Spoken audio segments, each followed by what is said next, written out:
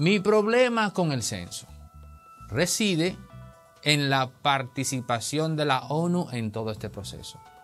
Yo no tengo ningún inconveniente con las medidas que tome el presidente, porque yo entiendo o apuesto a que él es una persona sobradamente inteligente.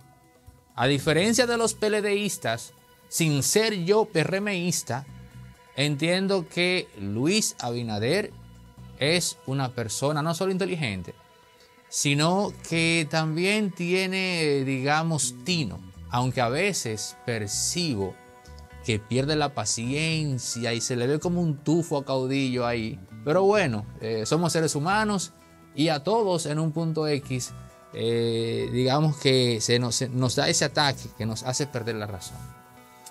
Pero mi problema con el censo reside en la ONU porque la información de un censo tiene que ser estrictamente de dominio de la nación que practica dicho censo, porque se supone que somos naciones y como tal tenemos que velar por toda la data que se produce en este país, que tiene que ser de nuestro dominio y solo, eh, digamos, eh, el gobierno o las autoridades pueden precisar qué fragmento de esa información compartir de manera que no sea comprometedora de cara a la seguridad del país.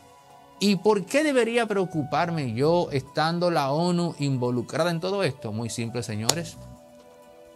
Ustedes han visto en alguna ocasión que en la ONU se ha dado una especie como de, digamos, de reglamentación, ordenanza o exigencias, como le llamen ellos a eso, que involucra a China, que involucre a Estados Unidos, que involucre a, Rusia.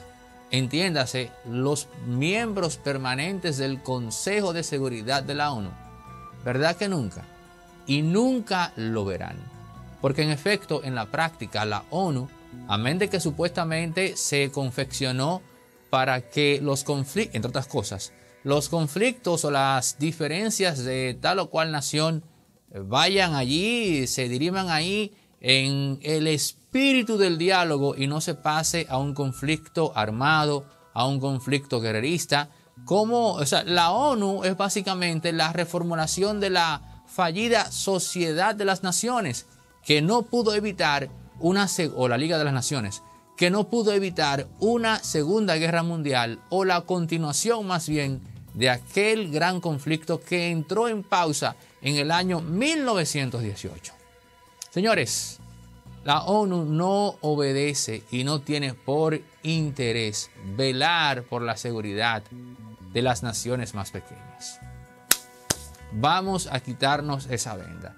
En la ONU lo que se busca, lo que se persigue es que los intereses de esas naciones que permanecen al Consejo de Seguridad no se vean afectados por los intereses a su vez de naciones emergentes o medianas. Eso es la ONU en realidad. ¿Qué busca entonces República Dominicana haciendo un censo de la mano de la ONU? Que yo, si a mí me dan garantías de que la información que se recaude no va a pasar a la ONU, yo estaría más tranquilo. Pero me digo, ven acá, pero ¿y si la ONU no va a tener esa información, que es, digamos, la materia prima de ese censo? Entonces, ¿qué busca la ONU ahí? Y la única conclusión a la que puedo llegar es que en efecto el interés real de la ONU es echar mano a la información que se recaude. Pero ¿para qué? O sea, ¿para qué? ¿Con qué finalidad quiere la ONU esa información? Yo no tengo la respuesta, pero sí me queda claro cuál no es o cuál de todas es la que en verdad nunca será. Bueno, la ONU quiere eso porque la ONU quiere estudiar, quiere saber cómo está por ejemplo, la economía dominicana, la salud, la demografía, porque tiene que tomar medidas en favor de República Dominicana. Oh, qué interesante. Porque si nos creemos eso de que es para tomar eh, resoluciones en favor de República Dominicana, entonces tenemos que, que irnos a la antigüedad, al debate aquel de, bueno, el autoritarismo sobre la base de que solo así se le garantiza la felicidad al individuo que por sí mismo no sabe determinarla. Y en este caso, ese individuo es República Dominicana y el órgano eh, totalitario es la ONU. Pero eso me recuerda algo. Nosotros ya hicimos eso una vez.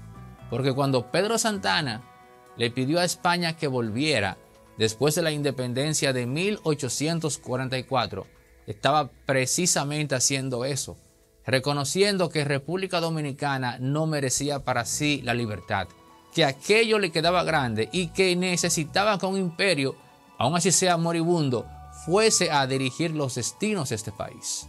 Y después vino, como usted recordará, la guerra de restauración con Gregorio Luperón a la cabeza.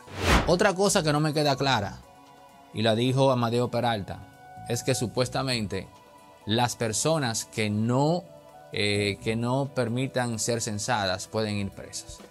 Esa yo no me la sabía, yo ignoraba eso. Llama la atención que sea sobre la base de una ley de, de 60 y pico de años atrás, pero ahora sí, si uno no se quiere censar, lo van a meter preso. Esa es como que muchas cosas para hacer que la gente le gane mala voluntad al bendito censo. Y lo último, ¿cómo usted se percibe? Pero no estamos hablando de una pregunta que tiene que ver con políticas identitarias, no. ¿Cómo usted se percibe en función de que si es blanco, mulato, indio, negro, afro, lo que sea, en fin? ¿Cómo usted se percibe? Mucho cuidado con eso. Porque no sea que después la ONU use esa pregunta como referente para asumir que en República Dominicana tenemos un problema en esos términos al más puro estilo de lo que está viviendo al, em, Estados Unidos, lo que en verdad no aplica. Si estás en Estados Unidos o cualquier parte del mundo y eres un dominicano que vuelve a tu país y quieres disfrutarlo en grande, conociendo o revisitando lugares de antaño, llama o escribe ahora mismo a Viaja Tours porque ellos te van a conseguir sí o sí los paquetes turísticos más competitivos del mercado en cuanto a hotel, hoteles o actividades de ocio. También si vienes a celebrar una actividad personal como una boda, un cumpleaños, puedes contar con Viaja Tours, el teléfono en pantalla ahora mismo, porque ellos son simplemente expertos en confeccionar momentos agradables para ti. Lotedon está buscando al gran ganador de 25 millones. Sí, así como lo escuchan, señores, una persona se ganó 25 millones en Lotedon y esto fue el martes 25 de octubre. A las 10.25 de la mañana se jugó este ticket y el número ganador fue, eh, o los números ganadores fueron el 46, el 49, el 74 y el 50. Y esto fue en Puerto Plata. Atención gente de Puerto Plata. Eh, la agencia 013104, eh, ahí fue donde se, se vendió el ticket. Y repito los números 46, 49, 74 y 50. En Puerto Plata está el ganador de los 25 millones de lote Farmacia Medicar GBC es la farmacia de los dominicanos abierta de lunes a domingo con los medicamentos de la diabetes e hipertensión a un 30% de descuento, amén de su habitual, de su habitual 20 en los demás. Farmacia Medicar GBC. Eres dominicano, puedes contar con ello.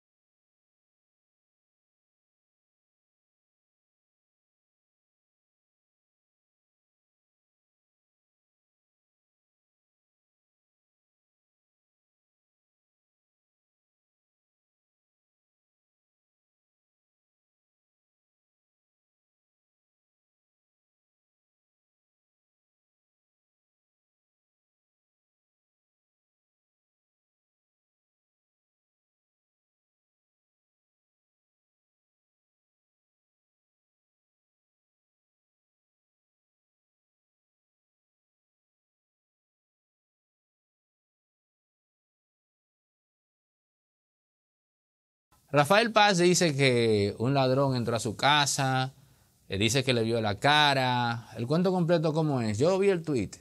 El ladrón no interactuó, no habló con el ladrón. No pasó nada. Bueno, miren, hay cosas que uno como figura pública, y sobre todo cuando es una figura política, tiene que ahorrarse.